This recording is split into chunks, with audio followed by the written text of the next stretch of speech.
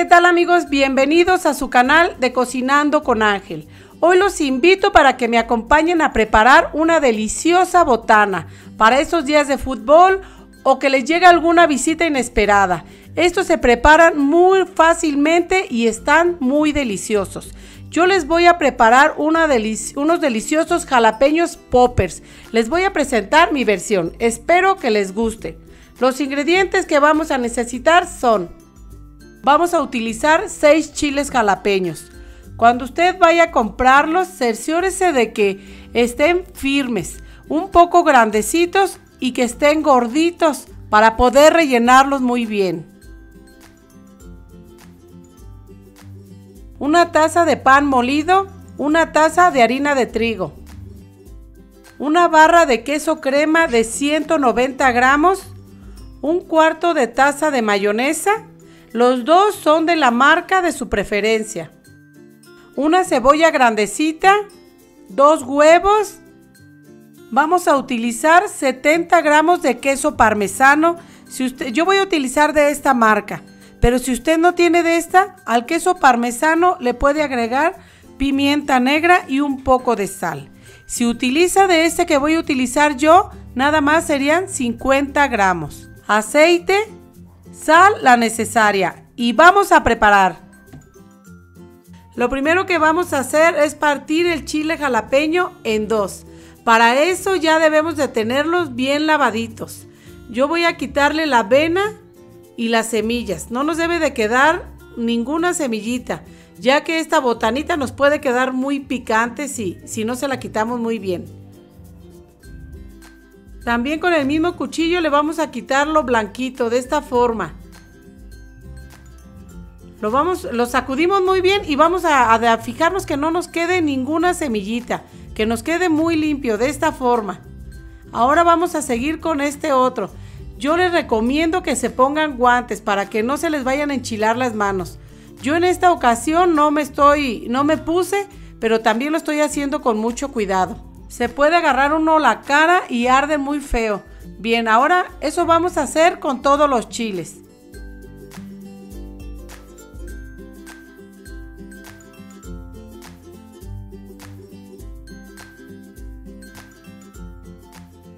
Una vez que ya los tengo listos, los vamos a reservar. Ahora vamos a picar la cebolla. Yo voy a, cortarle lo que es la punta. Bien, yo la voy a picar de esta forma porque a mí se me facilita. Pero si usted lo quiere picar de, alguna otra forma está muy bien. Nada más lo único que queremos es que nos quede un poquito chiquito, que no nos quede muy grande. Vamos a hacer esto tratando de hacer el corte lo más finito que podamos.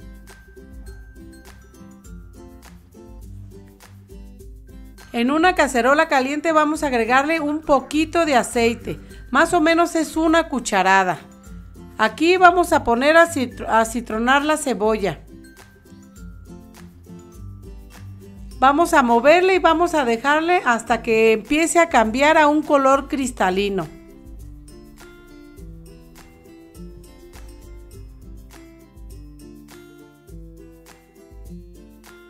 Una vez que ya está lista la cebolla, vamos a apagarle a la estufa y vamos a dejarla que enfríe muy bien. En un recipiente vamos a agregar el queso crema. Para eso debemos de tenerlo a temperatura ambiente para que se nos facilite un poco más. Vamos a cremarla un poco. Lo vamos a hacer de esta forma. Una vez que ya la tenemos un poco suavecita, vamos a ir agregando poco a poco la mayonesa.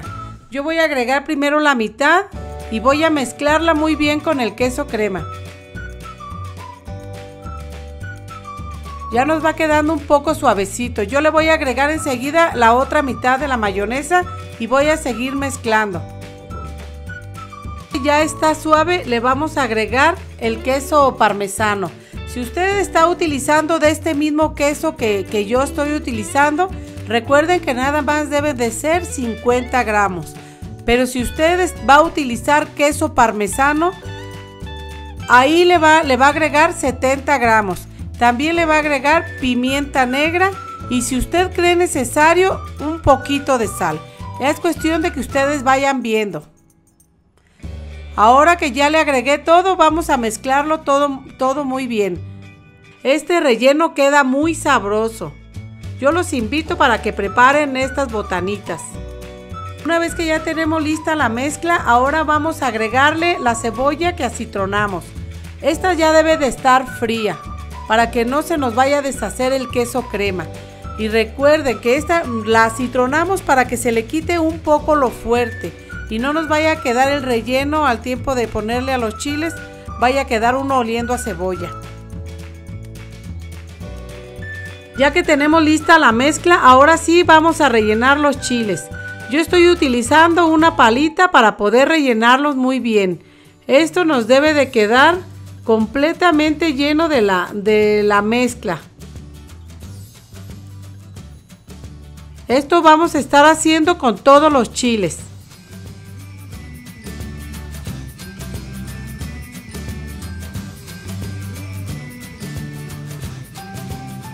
Una vez que tenemos todos los chiles rellenos, ahora vamos a reservar. En un recipiente o en un platito vamos a agregar los dos huevos. Aquí vamos a, mezclarlos o vamos a batirlos. Esto es muy rápido. Yo me voy a ayudar con un tenedor para poder mezclarlos, miren.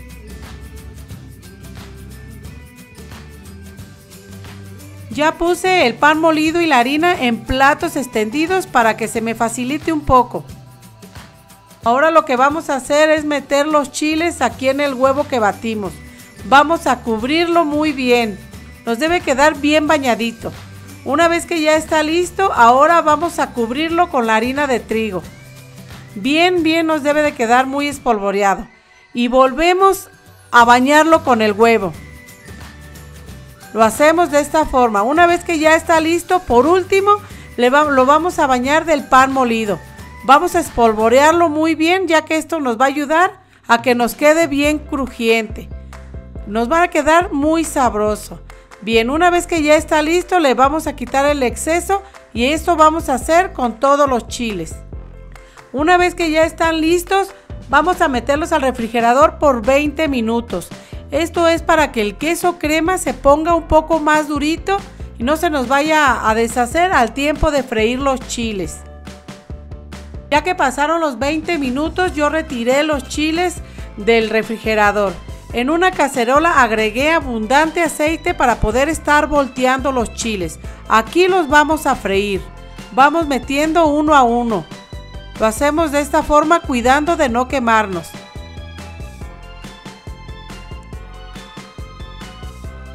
Vamos a estarlos cuidando para evitar que se nos vayan a quemar. Hay que estar revisando y volteando. Esto es con mucho cuidado ya que nos podemos, nos podemos quemar. Vamos a voltear este a ver qué tal. Pero parece que no puedo muy bien con estas tenazas. Bueno, ahora voy a voltearlo con la mano. A ver, esto lo recuerden que hay que hacerlo con mucho cuidado. Así nos deben de quedar de doraditos. Hay que estarlos volteando.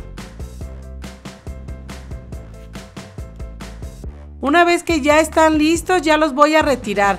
Yo los voy a poner en una servilleta absorbente para que se le quite el exceso de grasa. Estos poppers nos van a quedar muy sabrosos.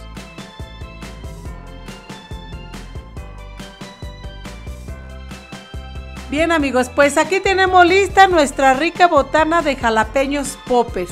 Quedaron riquísimos. Yo los voy a acompañar con un poco de salsa cápsula.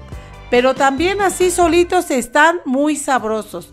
Voy a probar este para ver qué tal nos quedó. Pero también recuerden que puede quedar picante. Mm, eh, no, este quedó riquísimo. Y no tiene nada, o sea, no está nada picante.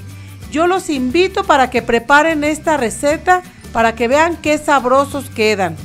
Bien amigos, pues esto fue todo por hoy. Yo espero que les haya gustado esta receta y la preparen muy pronto. Y no olviden suscribirse a mi canal, compartir mis videos y dar manita arriba. Hasta luego. Gracias.